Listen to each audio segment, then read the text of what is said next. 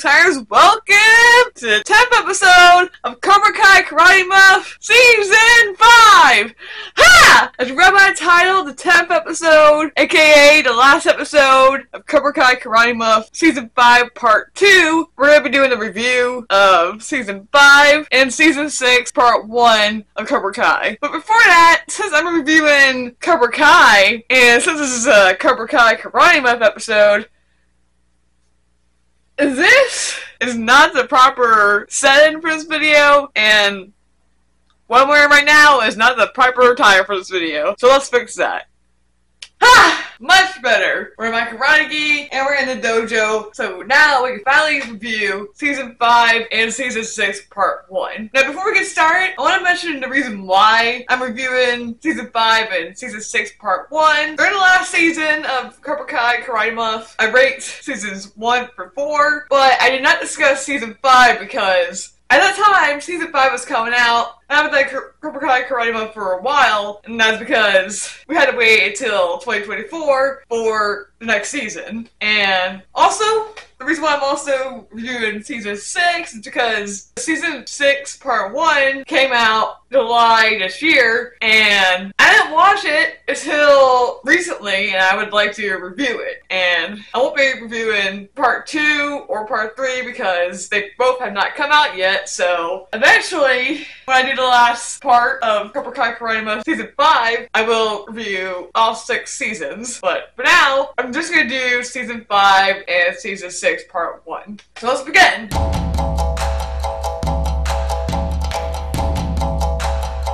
We're gonna start off with season 5, which was a very epic season. As of now, I don't know where season 5 and season 6 go on my list, but oh my god, season 5 was just epic. It was so awesome. It starts out epic. Like, you remember season 4, Cobra Kai won the All Valley tournament, and Cobra Kai opened up a lot of dojos because of Terry Silver and whatnot, and Don Kreese is out of the picture because he got arrested. So, this is all Terry Silver right here. Like, white, and they opened up the flagship dojo, if you remember from season 4 as well, and they upgraded the place. Like, compared to how it looked in, like, the 80s and when they first reopened it, well, it changed a lot. Like, it looks so high-tech, and you can see how high-tech it is in the intro. Like, I'm showing you right now. Like, everything's so high-tech. And out it's a commercial for the reopening for the flagship location of Cobra Kai. And after that, it cuts to Chozen swimming in the pool of all places.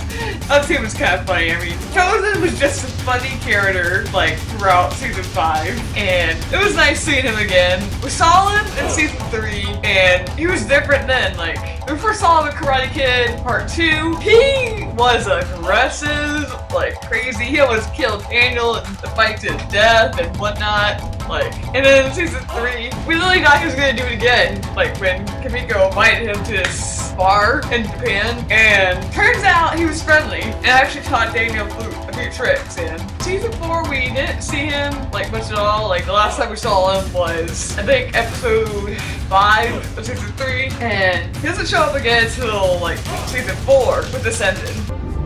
But will you help me finally put an end to Cobra Kai?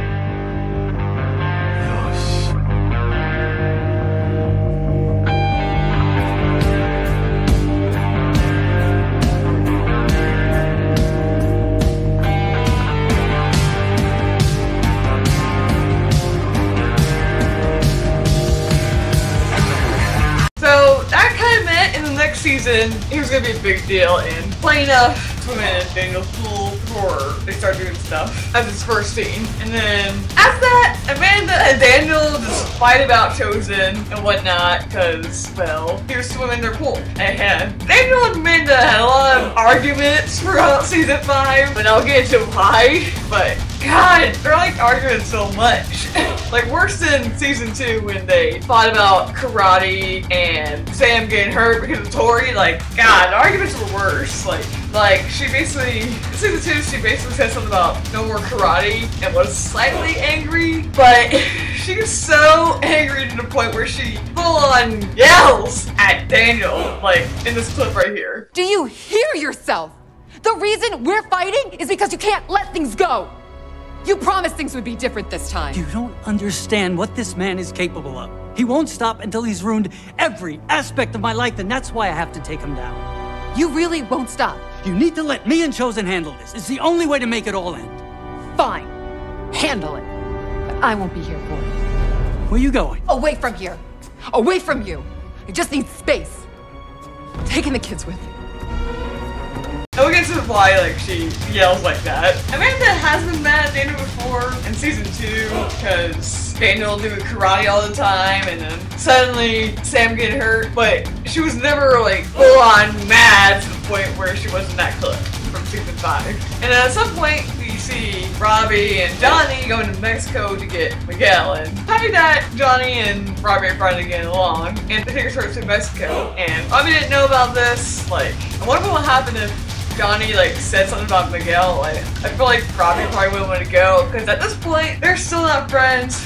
But we'll get into that later on. We finally get to see Miguel. Like, Miguel's all good, trying to look for his father. He does get scammed by um, these people that were trying to help him with his map and whatnot. Like, trying to figure out where this place was and whatnot. And he actually goes to, like, this bar place. And he thought he found the right Hector, but it was Hector, but not the right one. And causes the fight with them. I felt bad for Miguel. Like, trying to find his father, like, but when he eventually finds his dad, like, he gets along with him at first, like, all that, and yells at his mom on the phone saying, hey, this person's nice, what the heck, why did you tell me that he's nice, blah, blah, blah, blah, blah, blah. But, well, he, he eventually learns that he's not a good person when Robbie and Johnny find him at this, like, wrestling place, and Johnny and Robbie get in a fight with like, random people, and before that happens, like, Hector's like, hey, hey, who, who the heck are you? Are you hiding anything? Like, who are you? Basically. I've been kind of worried for Miguel for a bit, because, like, like, that's Miguel's dad, and Hector didn't know about Miguel. Like, he had no idea that Miguel was his son, but Miguel, like, knew that Hector was his dad. But, well, it turns out he's not who Miguel thought he was. I, I wonder what would happen if Miguel said, hey, you're my dad. I feel like that wouldn't be a good thing. I'm kind of glad Miguel didn't say that because I feel like season 5 would be a lot worse for him. He probably would not be around for the rest of season 5 and season 6, but he got out of there pretty good because after Miguel and Hector went to the convenience store, Miguel finally realized, oh man, this man is not good because Hector actually pulls out a gun at Miguel, not, not at him, but like pulls out a gun in front of him and it kind of makes Miguel want to do with Johnny a lot more than he wants to do with Hector. And Johnny has, has become such a father figure to Miguel, and before, he really wasn't. He was just sensei, I guess, through karate that became like father and son almost, and they actually returned home safely. Robbie wasn't too happy. Miguel in the car because they still didn't like each other, but Johnny did all he could to like keep them happy with each other because, well, they were still enemies. And once they get home, we find out Carmen's pregnant, and it was pretty good news. It was kind of shocking though. Like Miguel makes breakfast, or Carmen like immediately gets sick. Like, oh god, I mean, he didn't know at the time, but like, uh, like Miguel was just trying to cook, and that happened. And then Miguel also talks to Sam again, trying to say he was sorry about like leaving her and whatnot whatnot. After the tournament and going to a uh, sensory deprivation tank, Sam just breaks up with Miguel. I mean, Miguel got her this like necklace, and Sam just breaks up with him. Like, oh my Sam. Like, I don't know, the relationship. Like, I like the relationship between Sam and Miguel in like the early seasons, like season one when they first met. Like, I like that. They seemed happy with each other and whatnot, but then Miguel ruined it because he got so aggressive with Cobra Kai, and then he ended up with Tori, and then and then the fall happened, and after the fall, he uh, got back together with Sam, and they seemed happier. Like even went to prom together in the last season, and, and even though the prom didn't go well, it was good to see Sam and Miguel together. But this time in season five, Sam's the one that's like ruining things with the relationship, like saying, "Oh man, I need to get away from her. I need to like try to find myself, stop doing karate, and I need to break up with you." I, mean, I get it, I get it. You gotta like do some stuff to try to find yourself and whatnot, but man, the relationship with Sam and Miguel just got rocky. Like later in the season, Sam finds a bracelet that Miguel was trying to give her, and was trying to get back together, but they literally had a fight because Miguel was kissing this other girl at the party, and Sam showed up. Like, Sam, Miguel was trying to move on. It was like hard at first, but he did. He moves on, and then Sam's like all mad that he's trying to move on, and they had like an argument about it. Like, they eventually do get back together at the end of season five, but still, like, make up your mind, Sam. You're, you're the one ruining the relationship at this point. I mean, it was Miguel at one point, then you start ruining the relationship. Anyway, getting ahead of myself. Terry is the one that's in charge of Cobra Kai and he manipulates Daniel to no end, like, oh my gosh. Like, first, Chozen like, sneaks into Cobra Kai, see what's happening and whatnot. Before that, they had to shut down Eagle Fang and Miyagi-Do because of what they said in season 3. Whoever loses the tournament has to shut down the dojo, and, well, Miyagi-Do lost, and that's why they had to shut down dojos. This allows Johnny to, like, go to Mexico, and Daniel, like, he doesn't, like, calm down. Like, he still tries to get back at Cobra Kai, even though the dojo shut down. And in this process, like, tells Chozen to, like, go sneak up on Cobra Kai and stick it up too. And eventually, Terry Silver finds out and starts ruining Daniel's life. Like, yeah, Amanda, like, mad at him, got seriously hurt, and wow. Like, Daniel got so hurt. Like, he went to Stingray's house because, well, because of Terry. Like, Terry was the one that beat him up. And how did he get beat up? Well, Stingray got the apartment from Terry. Like, I don't know why Stingray wanted to go back, even with a new sensei and the one that beat him up. Like, what? He eventually redeems himself, but, but I think he went too far with the Cobra Kai's. And they don't, he did go too far with Stingray. Like, he broke the PlayStation. He does come back to apologize because he was looking, he was acting a little crazy, especially with Terry back in the picture. Enough about Daniel. I do want to get back to Miguel and Robbie. Like,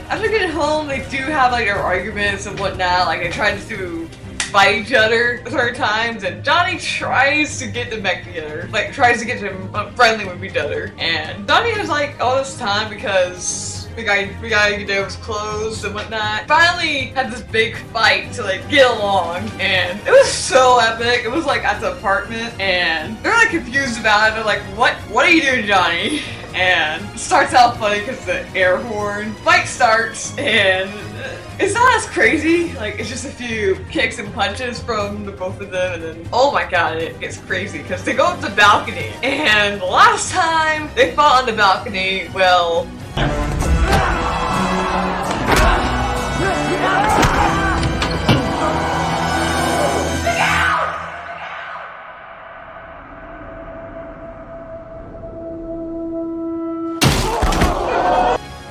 But this time Miguel has the upper hand. Like he's the one in Robbie's position. They even like make flashbacks to season two, but the roles are reversed. Like Miguel is Robbie, and then and Robbie is Miguel. But instead of kicking Robbie out of the balcony, Miguel like holds back and he imagines himself falling down like in the past. That eventually gets the anger out. So at this point they're apparently friends, and it was nice seeing them be friends instead of like enemies because it was nice seeing them finally get along. Like the thing that started the arguments between them was Sam and Tori, and they finally put that aside in this fight and got along. And eventually Sam and Tori get along because they find out as a part the part two because Tori she actually leaves Cobra Kai because she finds out well Terry cheated the tournament and she shows up at the party that they had because they had like a Sekai Taikai party and that that is a tournament that happened in season six and Hawk and Kenny were like like fighting each other during that and Kenny learned his new move. He like punches like this, like pop into the chest and that really hurts Hawk. Like oh my gosh. I wish Hawk fought better, but I guess he's he's different than what he was in the past seasons. Like he didn't revert fully back to his like what's his past self, but I felt like when he was in Cobra Kai he was at his full potential, but he's not in Cobra Kai anymore and do kind of wish Hawk was a little better in the fight, but oh well. And then with the Sekai Taikai qualifying like fight, Tori does leave it. Like she leaves the fight. Like she was supposed to fight Sam, but she left. And and this is when she ends up at the party because like they both go. Like Cobra Kai, Eagle Flame, and Miyagi-Do go to the Sekai Taikai. At this point, they don't go yet, but they're able to go. It Sounds like a fun tournament. Like it sounds really fun. Like funner than the All Valley. Like oh, I can't wait to see this. And we do get a little glimpse of this in season six, part one, but I'm not gonna mention that yet. But yeah, probably because of that, and Tori shows up, and Sam and Tori just fight. And the reason why stands outside is because, well, she got mad at Miguel for being with someone else. Like they were broken up, so why are you getting upset? Why is she getting upset? Like he's the one that wanted to be broken up with Miguel, and he's moving on. So anyway, now Tori tells us about Cobra Kai. Like she was actually working with John Kreese because like he's still in prison. Like they were like talking about trying to end Cobra Kai and or and Silver's version of Cobra Kai. But Tori finally had enough. Like his plan was stay in Cobra Kai until he gets out. But Tori just had enough. And after hurting her fist on this like rock that it looked like it hurt. Like oh my gosh. Like she like punched it and her hand was immediately bleeding. Right after she goes to the party and tells tells everybody about Cobra Kai. Also, when Don Kreese is in jail, he talks to a therapist there, and you see his past self, Terry Silver, and basically people from, from his past, like in the therapist's chair. He's trying to get out, and he thought this was like the way to like do it. At first, he wasn't sincere, but then once you start seeing the faces of, the, of his past, it, it's very sincere about trying to get out. He even sees the past version of Johnny, which that therapist that touching, like it seemed like it could have worked to like get out early, but there was a fight prisoners, and oh my god, this fight was that big. Like Don Kreese, like young Don Kreese comes out and starts fighting these people, and also Don Kreese actually fakes his death in prison. Like he gets stabbed. Like the last episode started out with that scene. I actually thought he was like dead at first. I was like, what? What the heck? Like when that happened? But it turns out he faked it, and we see him like walk out at the end of season five. But for that, Thanos like celebrating Carmen and then other stuff, and then they have fun at the bar, and Chozen like call Miko, and they all get into like the bus to another bar, and they start seeing Eye Eye of Tiger, and things don't go well. Like things are all good at first, like they're having a fun time in there. And all of a sudden, the car gets moved around, like, whoa. Turns out it's Mike Barnes. Like, we don't know that until next episode. Man, that last episode gets intense. Like, the build up to it, Magneto and Tori talking to Stingray, the party bus scene, Chozen, Johnny, and Mike going to Terry's house, and then when Johnny Kreese is faked up, and oh my gosh, and then this leads to a fight in the Cobra Kai dojo. Like, it is. There's so many people finding out what's during the scene. And they use this method called protect the egg that they learned in the seventh episode. I'm trying to like protect the eggs that they have and that was like the one method that worked because by themselves it did not work. Like each egg got destroyed, but they were protecting it, like all the eggs in one bag or basket, it worked. And that's basically what they did to the tablet that had proof that Terry cheated the tournament. And early in Cobra Kai, when the video's shown, they don't initially leave, but when Daniel knocks Terry out with, well, they leave Cobra Kai and Terry gets arrested. And this kind of felt like a conclusion to Cobra Kai. Like, everybody gets along. Sam and Miguel get back together, and Miguel says, I love you to Sam, which I'm glad they got to that point of relationship. That just seemed like a good ending to Cobra Kai. But there is a season six, and now we're gonna get into that.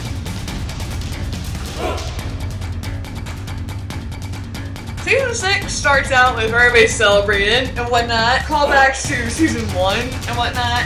Shawn Payne gets out of jail finally, and Kenny, like, even after Cobra Kai shut down, he still doesn't get along with Robbie, and this leads to a fight between them at this arcade. It was, like, really epic. But after that fight, they finally get along, and Kenny actually joins Miyagi-Do, and this is like the biggest I've seen the Miyagi-Do dojo. At least 20 people in dojo. And that was all thanks to Cobra Kai shutting down. Remember, Kreese escaped and he went to South Korea to see Kim. I'm surprised her grandfather's still alive. Like, that guy has to be at least 100 and he's still alive and still very strict.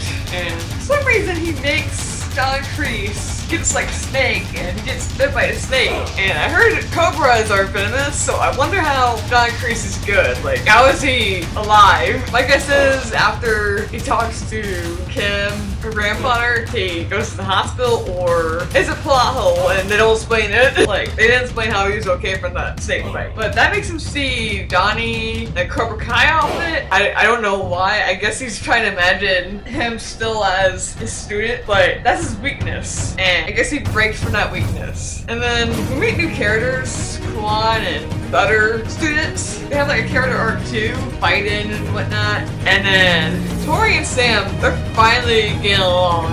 It's good that everybody's getting along. Like, I don't think they're fully getting along in season five, but they're getting along now in, in season six. Then they start getting ready for the second time Taikai. Like, for some reason, only six people are able to go, and they need so they do these like challenges and whatnot. One challenge was really funny. You have like run in the forest, kind of like the the Coyote Creek scene in season two. And Kenny, oh my god, Devon puts laxatives in his drink. Like, why did she do that? I mean, I get it. She lost a chance in the Sekai Taikai, but why laxatives?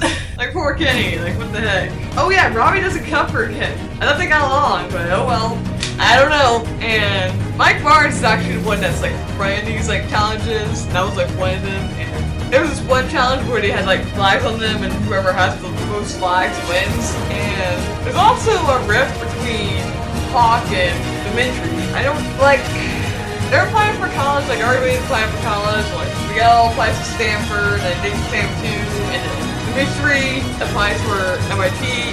I think Hawk initially does, thinks about it, but then they go to frat party and they don't, and, and he doesn't anymore. And frat party is really fun. Like they fight, there's a big fight there. In the trailer, I first saw it. It was like some other place, but it was a frat party house, and that fight was really fun. But anyway, after that party, Hawk doesn't want to go to MIT, and this causes Demetri to get so upset. Like, God, like, this makes Demetri Hawk levels of upset. Like, when he was in Cobra Kai, like, Hawk was crazy when he was in Cobra Kai. Like, he almost broke Demetri's arm, and during the flag challenge, Demetri was so close to breaking his arm. This clip right here. How do you like it, huh?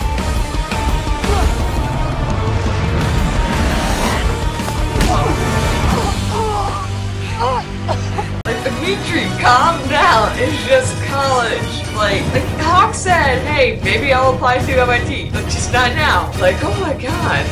I didn't think Demetri would get like that. Like, they were friends for so long, and Demetri was one who brought, like, Hawk back his karate after gets his head shaved from Robbie. And now, Demetri is, like, being like this to Hawk, because he won't go to MIT. And I really hope they stay friends, but this this was like too much. And because of the tournament, Miguel and Robbie also get, a little upset at each other because Miguel wants to win the tournament because of Stanford. And Robbie wants to win because he's not, he doesn't want to be second place anymore. I, I thought these relationships were like good, got ruined because it was like a tight guy. And then Tori and Sam, their relationship gets kind of messed up too because Tori wants to win like fair and square, and so does Sam. Which is not a reason, but at first they're not really angry at each other. Like Johnny does throw a party to try to like get them not to get along anymore, but it doesn't work out because they're still friendly with each other. They do get a little argument about like what they did in the past and whatnot, but they eventually forgive each other, and it's like them to like fighting better, but they still get along. But things go downhill when Tori's mom dies. Like, oh my gosh. They, there was a scene, in I think, episode four or three, where, where Tori finds out good news about her mom. Like, she finds out, hey, her mom's okay and whatnot. But she comes home, pills are on the ground, and so is her mom. Like, when they first showed her mom on the ground, I was like, what?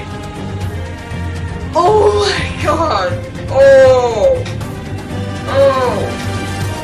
like, I was literally like, on the couch watching this, and I was like so shocked about it. Like, I'm, oh my god. I was so shocked about what they did to Tori's mom and what this would mean for Tori. like, oh my god. I mean, she wasn't dead in that scene just yet, but my just realized, like, oh no, no. What did they do to her? I mean, she did go to the hospital, and I don't know if because they had to like find out if she was like dead or not, but she was still alive. There was hospital scene, which was good. But Tori gets mad at the doctor, gets mad at everybody pretty much. And Miguel and Robbie have their team captain fight, was pretty cool to see. And so do uh, Tori and Sam, and like Sam and Tori are both put into all, and then suddenly Amanda gets a phone call from the hospital. And turns out Tori's mom died. And Tori got so upset, and it had like stopped the fight between Tori and Sam. This leads Tori to go into Cobra Kai again.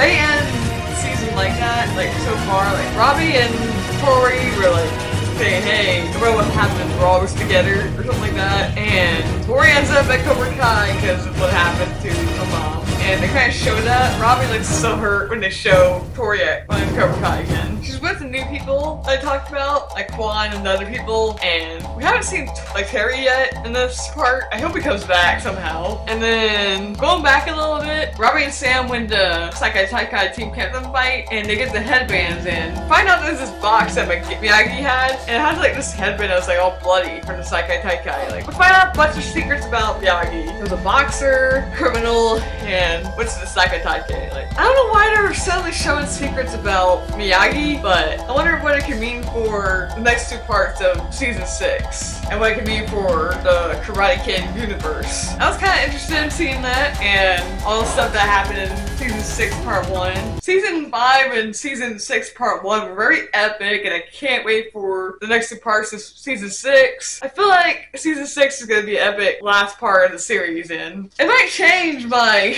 ranking of Cobra Kai. Season five, that goes where that goes somewhere high on my list already. Not too sure where I put it yet, but season six, that's kind of like kind of high up too. I think when I rank it, I might rank like it, into parts or leave it as a season. I don't know, but that's like a future video for part three of Cobra Kai Month. But for now, that's all I got for this video. I hope, I hope you all have fun watching Cobra Kai season six, part two. I hope you all enjoy, and don't forget to keep on signing. Bye.